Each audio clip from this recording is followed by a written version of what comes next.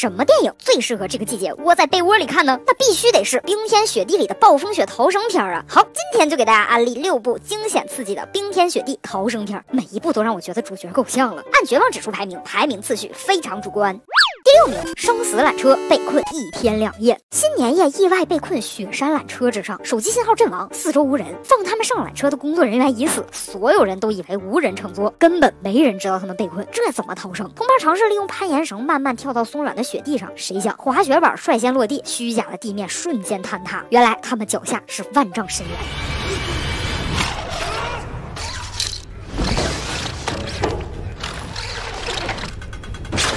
一次尝试连挂两名同伴，好不容易等到路过的直升机，还被几人错过，手中能拿来呼救的烟火棒全部用尽。危机之中，人性尽显，队友崩溃暴走，唯一可支撑起人的缆车还遭到破坏，在暴风雪中摇摇欲坠，可谓被困雪山无人知，自己命悬一线，同伴的尸体就在身边，听着就让人崩溃。不过因为前后耗时仅一天两夜，还没太涉及食物短缺等问题，所以排在最末。绝望指数一星半。第五名，摄氏度被困二十四天，夫妻自驾出差。途中意外被暴风雪困在路上，只能原地等待。疲惫之中，二人昏睡过去。谁想再醒来时，就被埋在了雪下，看不见外面的情况，车打不着火，车门、后备箱完全被雪堵死，不知道被困的位置，手机信号也阵亡了。而妻子偏偏还是个怀孕八个月的孕妇，因为看不见外面的情况，也不知道暴风雪停没停，二人也不敢轻易破窗。等了四五天，好不容易听到外面有声响，结果只是狂风的声音。好不容易等来了一格信号，妈的，手机却没电了。好不容易有铲车路过，却。根本没有听到他们的呼救。被困第十五天，他们终于摇动了车窗，奈何雪墙已经太厚太硬，不仅无法逃出，强烈的冷风还灌了进来。被埋雪下，食物耗尽，喝血吃纸十余天。丈夫奄奄一息，妻子即将生产，失去所有求救可能，眼看逃生无门，绝望指数三颗星。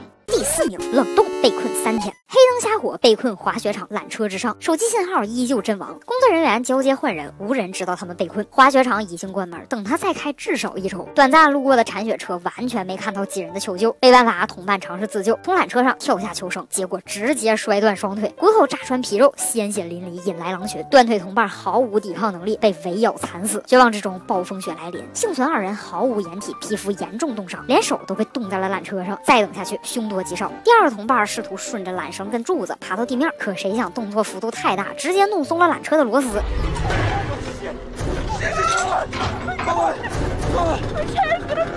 一时间，二人全部挂在空中，摇摇欲坠，而脚下也再次传来了渗人的狼嚎。其实这个片子整体架构跟第一个有点像啊，主角都有点作死。呃，论被困时间呢，也没有第二个久，但就因为他们被狼群包围，那个听着同伴在脚底下惨叫的画面，哇，太惨了，让绝望指数直线上升三颗星。第三名，破冰船被困一百三十三天，巨大的冰山突然松动，与破冰船发生擦碰，导致船体受损。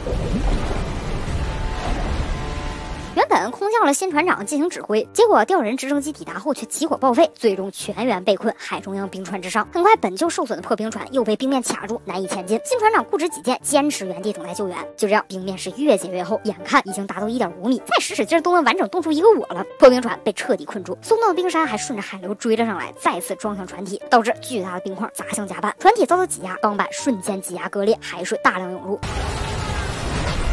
舱内食物几乎全被泡烂，所有人又冷又饿，还面临着海洋生物的袭击，逐渐陷入崩溃。极端寒冷，远离陆地，没有食物，再加上深海恐惧和巨物恐惧，buff 一整个叠满了，属于是绝望指数三星半。第二名，北极被困半年以上。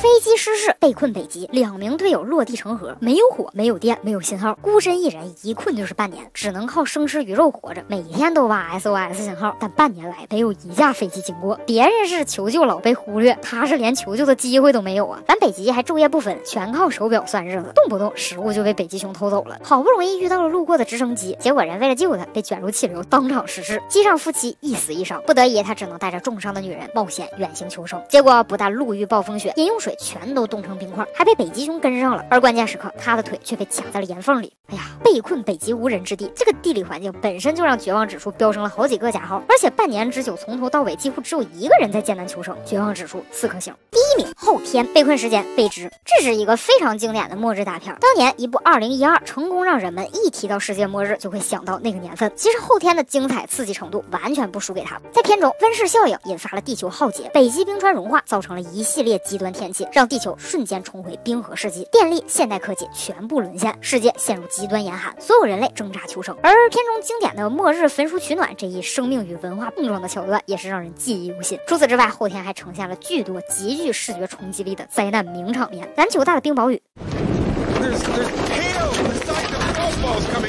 自由女神像被淹没，旗帜冻僵，人体开门速冻。整个纽约瞬间结冰，